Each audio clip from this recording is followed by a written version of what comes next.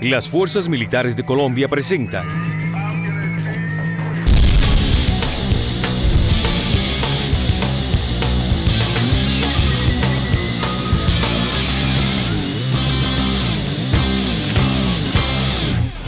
El informativo Insignia.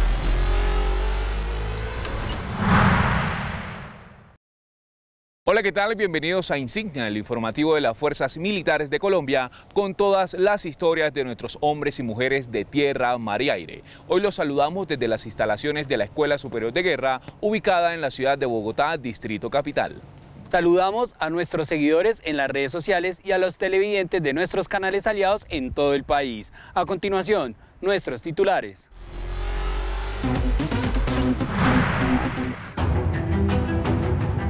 En esta emisión de Insignia, Ejército Nacional presente en todos los corredores viales del país, garantizando la libre movilidad de los viajeros en estas festividades decembrinas. Un grupo de valerosos soldados de la patria recibieron su título de bachiller 2022, un logro alcanzado con mucho esfuerzo y dedicación. Base Naval número 6 ARC Bogotá lideró jornada de limpieza en el embalse de Tominé, actividades para la preservación y conservación de los ecosistemas de la región. Ministerio de Defensa Nacional lleva a cabo eventos deportivos y culturales en el Bagre, Antioquia, para generar espacios de buena convivencia, progreso y desarrollo. Ejército Nacional y exmineros unieron esfuerzos para trabajar por el medio ambiente, sembrando paz y esperanza en el Putumayo. Esto y mucho más en Insignia, el informativo de las Fuerzas Militares de Colombia. Damos inicio a nuestro informativo insignia. 8.000 soldados en operaciones de control militar y más de 800 ubicados en puestos de control vial garantizan la seguridad de los viajeros en el centro del país en esta temporada navideña. Soldados de la decimotercera brigada en la capital del país, así como todo el despliegue del Ejército Nacional en cada una de las regiones para garantizar la seguridad de todos los colombianos. Veamos. El departamento de Cundinamarca y la capital del país ya cuentan con un completo dispositivo de seguridad para esta temporada de vacaciones y festividades de Navidad y fin de año. La décima tercera brigada será la encargada de custodiar a todos los ciudadanos. Contamos con 800 soldados que están desplegados en 34 puestos de control y aparte tenemos 18 puestos mixtos con Policía Nacional decirles a los turistas que viajen, que conozcan el departamento, que conozcan la capital. Un trabajo coordinado por parte de las autoridades con un despliegue de capacidades para garantizar la libre movilidad de locales y visitantes en los puntos más importantes y en los principales destinos turísticos de la región. Agradezco infinitamente a nuestro ejército por todo el trabajo que va a realizar en las vías del departamento y para que los cundinamarqueses y todos los colombianos que se desplacen por este eh, importante corredor vial de nuestra Colombia querida podamos vivir en paz y tener una Navidad como todos nos la merecemos. A todos ustedes, mil, mil gracias, Ejército Nacional. Hasta los rincones más apartados de la geografía colombiana llega la presencia del Ejército Nacional. En el departamento del Baupés las más de 250 comunidades indígenas tienen las condiciones adecuadas para poder realizar sus actividades con tranquilidad. Desde este punto, desde aquí, desde Mitú Baupés, desde la comunidad de Mituseño Urania, eh, queremos reiterar el compromiso del Ejército Nacional por la seguridad de los territorios ancestrales del departamento del Baupés. Igualmente, queremos decirle tanto al departamento del Baupés como a nuestro nivel nacional, queremos decirle que estamos día a día mitigando la alerta temprana 024 del 2022, eh, donde está comprometido nuestro municipio de Mitú y nuestro municipio de Carurú. Diariamente hacemos presencia con un despliegue especial en todas las comunidades del departamento del Baupés. Se han instalado puestos de control terrestres en las principales vías de los municipios de Mitú y Carurú con la Policía Nacional y se llevan a cabo patrullas fluviales sobre el río Baupés y Apaporis. Le agradezco al ejército por prestarnos seguridad acá en el puerto, en las vías y en el pueblo. Viaje seguro, su ejército está en la vía. Con el apoyo de la Corporación Matamoros, fundaciones y entidades nacionales, más de 100 integrantes de las fuerzas militares recibieron su título Bachiller 2022. La mayoría de ellos tienen en sus cuerpos heridas y cicatrices que no han sido impedimento para continuar con su proyecto de vida. Es un día especial para el soldado profesional Gustavo Zambrano. Sentado en primera fila, estaba listo para recibir el reconocimiento a varios meses de dedicación, esfuerzo y sobre todo voluntad para superar situaciones difíciles que hoy lo tienen con la mente puesta en salir adelante por medio del estudio. Su proyecto es continuar sus estudios en psicología. Me siento orgulloso y contento y, y pues estoy orgulloso por nuestra institución del Ejército Nacional y le doy las gracias a la, a la Fundación Motorola y, y a nuestra cor, corporación Matamoros y pues a todos los que tuvieron hoy presente a la mesa principal, a los integrantes de, nuestra, de nuestro ejército. En su rostro no solo están visibles las cicatrices y heridas ocasionadas por un artefacto explosivo improvisado que le causó además la pérdida de la visión. También se aprecia la satisfacción de obtener su grado de bachiller después de muchos meses de estudio y la ilusión de continuar su preparación para ser un profesional en psicología. Todas las preguntas que me traían las guías yo las respondía por audios y así fue todo el proceso en el ciclo, lo que fue octavo y noveno y 10 y 11. Tiene 38 años. Fueron 105 integrantes de las fuerzas militares que culminaron este primer paso en su proceso de capacitación en más de 40 municipios del país, con el apoyo de la Corporación Matamoros, fundaciones e instituciones que hacen posible cumplir sueños. La Corporación Matamoros lo que busca es darle a nuestros héroes de la patria heridos y con discapacidad nuevas herramientas para un nuevo camino en su vida una vez adquirida la discapacidad. Entonces, los que quieran continuar con sus estudios superiores deben presentar las pruebas saber y si son aceptadas en las universidades donde tenemos convenio, pues los seguiremos apoyando en sus estudios de educación superior, técnica, tecnológica o profesional en las instalaciones de la Dirección de Veteranos y Rehabilitación Inclusiva, este grupo de soldados, esposas de militares y otros beneficiarios llevaron a cabo sus clases con todos los elementos tecnológicos necesarios. Muy seguramente en unos años muchos de ellos vamos a tener algunos ingenieros, algunos abogados, algunos profesionales en las diferentes disciplinas y eso genera espacio, eso genera paz, eso genera empleabilidad, oportunidad. Los premios al mejor bachiller no podían faltar en este importante evento y la celebración final para darle paso a nuevos proyectos que servirán para continuar en el camino de la educación como medio para construir nuevos proyectos de vida. Hacemos una breve pausa en nuestro informativo Insignia y a regreso de estos mensajes les contaremos cómo la base naval número 6 ARC Bogotá realizó una jornada de limpieza y mantenimiento en el embalse de Tominé. Y su oficial, invitamos a nuestros televidentes y seguidores de las redes sociales a que conozcan más noticias de la Fuerza Militar de Colombia en www.cgfm.mil.co. Fuerza Militares de Colombia, construimos patria en defensa de la vida.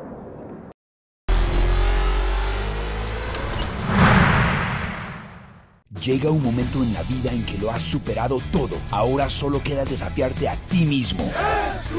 ¿Qué esperas? Toma el control, rétate, ve más allá, impulsa tu fuerza y espíritu para alcanzar nuevas metas y potenciar tu futuro. Si hay alguien a quien superar, es a ti mismo. Escuela Militar de Suboficiales Sargento Inocencio Chincá. Incorpórate ya. Ejército Nacional. Patria, honor, lealtad.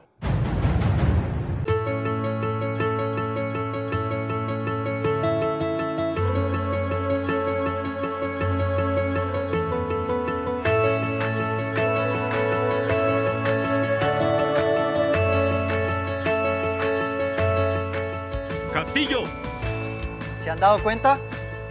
Somos de la misma familia, tenemos el mismo apellido y juntos construimos un mejor país. Miles de apellidos, una sola familia, Colombia. Ejército Nacional, patria, honor, lealtad.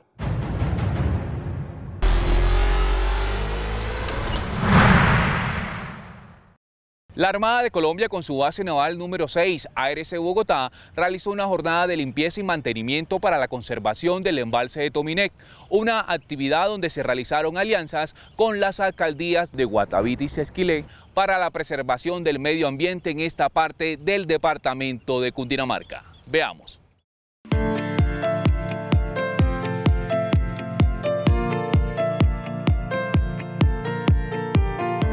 Un promedio de 700 kilogramos de residuos fue el resultado final de la jornada de limpieza en este importante sector que aporta significativamente a mantener un ambiente saludable para las personas que habitan los municipios vecinos y para los turistas que transitan por el lugar. Invitamos también a las asociaciones de forraje, a asociación de apicultura que tenemos actualmente y los pescadores artesanales que hay alrededor de la zona. Esto con el fin de vincularlos eh, y que ellos se sientan parte de, lo que es el embalse, de que se apropien de lo que es el embalse de Tominé y adicional que ellos vean eh, el gran impacto, el impacto positivo que estamos generando con estas jornadas que hacemos anualmente una labor liderada por la Armada de Colombia que tiene como finalidad trabajar de la mano con las distintas entidades ambientales para generar espacios amigables con los ecosistemas, creando conciencia de preservación y conservación. En articulación con el Grupo de Energía de Bogotá, las autoridades ambientales, la comunidad en general, desarrolla una actividad de limpieza alrededor del embalse Tominé y su zona circundante es así como a través de unidades como la Base Naval ARC Bogotá, la Brigada de Apoyo para el Sostenimiento de Operaciones Anfibias y el Batallón 70 despliegan sus medios logísticos y humanos para el desarrollo de esta actividad. Los infantes de Marina se armaron de bolsas para recolectar los elementos que se encontraban en los alrededores del embalse, incluso en las vías que comunican a esta región algo muy importante y es que eh, contamos con el concurso nuevamente de la Armada Nacional que se ha convertido nuestro aliado estratégico en todas estas actividades de ambientales y posiblemente eh, vamos a trabajar y seguir trabajando en pro de todas las actividades que dan cumplimiento al plan de manejo ambiental y su área de influencia. La base naval número 6 ARC Bogotá dispuso de todos los medios logísticos necesarios para hacer posible esta actividad, una unión de esfuerzos para lograr mantener el medio ambiente en las mejores condiciones para las futuras generaciones. El desarrollo de estas iniciativas permiten mitigar los impactos que generamos al medio ambiente y garantizar la cobertura en servicios ambientales que nos brindan este tipo de ecosistemas. Con estas iniciativas, la Armada Nacional contribuye al cuidado y protección del medio ambiente, protegiendo el azul de la bandera. Con este tipo de jornadas, el embalse Tominé tiene un mejor aspecto, gracias al compromiso de las autoridades locales, ambientales y de los hombres y mujeres que protegen el azul de la bandera. Hacemos una nueva pausa en nuestro informativo insignia. Y al regreso les contamos más historias sobre los hombres y mujeres de camuflado. Fuerzas Militares de Colombia, construimos patria en, defensa, de la vida.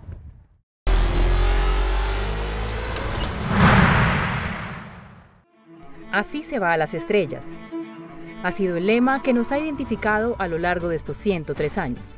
Surcando nuestro cielo tricolor, somos parte de una evolución con capacidades humanas, tecnológicas y profesionales al servicio de nuestro país, salvando vidas, protegiendo el medio ambiente, garantizando la soberanía y defensa aérea, aportamos al desarrollo de la nación. El espacio más cerca de los colombianos.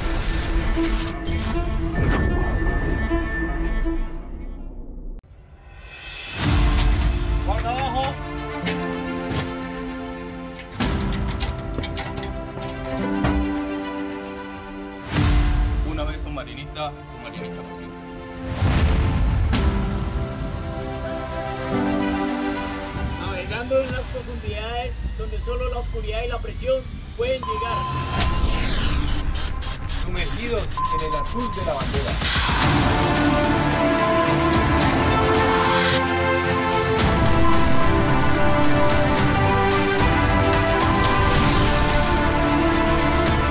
Combatimos en silencio con absoluto poder.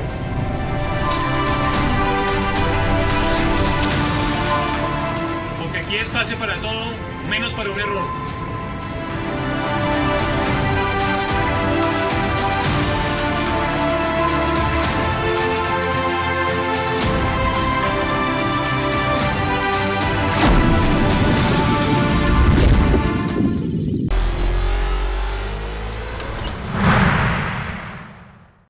Continuamos con nuestro informativo insignia. El Grupo de Atención Humanitaria al Desmovilizado del Ministerio de Defensa Nacional, en coordinación con varias instituciones, llevaron a cabo actividades recreativas y culturales en el Bagre Antioquia. Un trabajo articulado con el propósito de generar espacios para la convivencia, la paz y la seguridad en esta región del país. Veamos. Niños, jóvenes y adultos se daban cita en el Coliseo para un encuentro deportivo que daba apertura a las distintas actividades programadas por el Grupo de Atención Humanitaria al Desmovilizado y apoyo al sometimiento individual a la justicia en el Bagre Antioquia. Unimos esfuerzos y hoy nos trae a este lindo paisaje de Colombia, a decirles que estamos presentes, que los derechos de nuestros niños, niñas y adolescentes están por encima del de los adultos, que estaremos dispuestos a dar todo por ellos, a decirles a las organizaciones armadas que basta ya, que se unan a la intención de gobierno de paz total. Con la presencia de artistas nacionales y los talentosos jugadores locales, el juego no solo consistía en hacer pases hasta llegar al arco rival, sino esquivar los factores de violencia que se han presentado en esta región, para darle la bienvenida al arte, la música y sembrar paz y tranquilidad en la comunidad. Este es un trabajo que se viene llevando de la mano desde el Ministerio de Defensa, como lo indico, con el grupo de atención al desmovilizado y eso es lo que buscamos. Nuestros niños deben de estar en sus escuelas, nuestros jóvenes en los colegios y por ningún motivo podemos nosotros como fuerza pública dejar que esto pase. Esa es la seguridad que nos están pidiendo y en eso estamos trabajando coordinadamente todas las instituciones. Premios para los campeones de la tarde futbolera para llegar motivados a participar de los eventos en la tarima principal, con una asistencia masiva de los habitantes de esta localidad. El show de humor también llegaba para atrapar sonrisas y buenos momentos.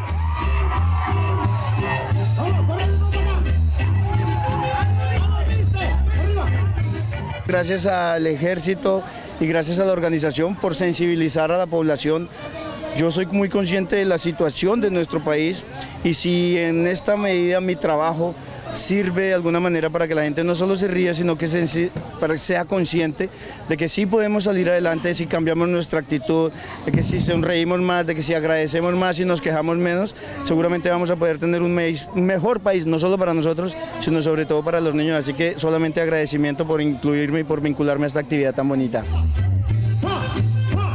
Gracias al trabajo articulado de las fuerzas militares con las autoridades e instituciones de esta parte del país, se hace posible este tipo de acciones encaminadas a la creación de espacios culturales en beneficio de la población. Son las 23 instituciones las llamadas a prevalecer, a fortalecer la misionalidad en la prevención del reclutamiento ilícito y hacemos acompañamiento antes, durante y después de haberse presentado el fenómeno. Por eso hoy estamos aquí en el Bagre Antioquia.